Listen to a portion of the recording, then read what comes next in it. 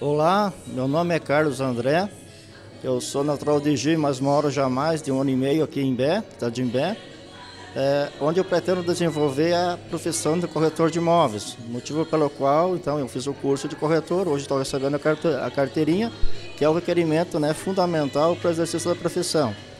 Eu pretendo trabalhar aqui na região de Imbé, como corretor autônomo. Uh, eu também tenho uh, alguns conhecidos, enfim, algum, algum, conhecimento sobre a cidade de Canoas, onde eu morei também por algum tempo. Então eu pretendo desenvolver as atividades de corretor aqui na praia e talvez também na região metropolitana de Porto Alegre, especialmente em Canoas.